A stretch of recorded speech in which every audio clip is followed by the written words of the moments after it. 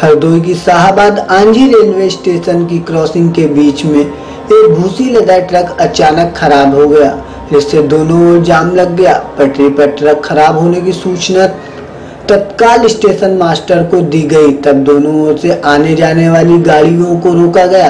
एक घंटे की कड़ी मशक्कत के बाद ट्रक को घसीट कर हटाया गया। पेश है हरदोई से खास रिपोर्ट। ये कितनी देर से ट्रक फंसा हुआ है यहाँ पे? ये करीब सोलह बज के चौवालीस और छः छियालीस पर गाड़ी आके खड़ी हो गई। तो ट्रेनें कोई रुकी हुई है इसकी वजह से? इसकी वजह से कोई ट्रेनें रुकी हुई हैं?